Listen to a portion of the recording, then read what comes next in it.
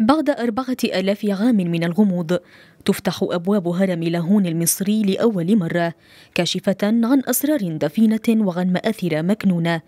بعد أن قضى فريق من علماء الآثار التابعين لوزارة الآثار المصرية حوالي عام من الزمن في تطهير غرفة دفن الملك سنوسرت الثاني داخل الهرم وفي التنقيب عن ما وري تحت التراب من قطع أثرية الهرم بناه عندنا هنا في اللون هو واللي جاء بعد منه منحات الثالث هما الاثنين من عصر الدولة الوسطى الوحيدين اللي عملوا أهراماتهم هنا في الفيوم.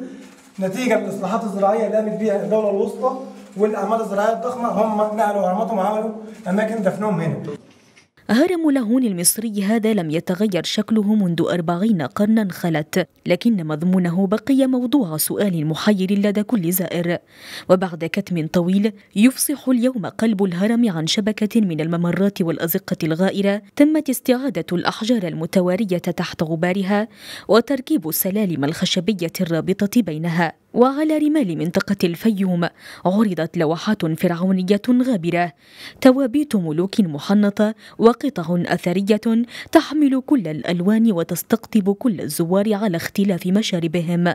في خطوة للتعريف بهذا الهرم الطيني الذي يعتقد أنه بني على يد فرعون السلالة الثانية عشرة سنوسرت الثاني. The white one is ivory. القطعة البيضاء من العاج والسوداء من الكريستال الأسود. ويمكنكم رؤية البرونز والنحاس في هذه الحيل والأصداف. إنها لا تزال في حالة ممتازة وبالمناسبة معظم هذه القطع سوف تودع مباشرة بمتاحفنا في مصر.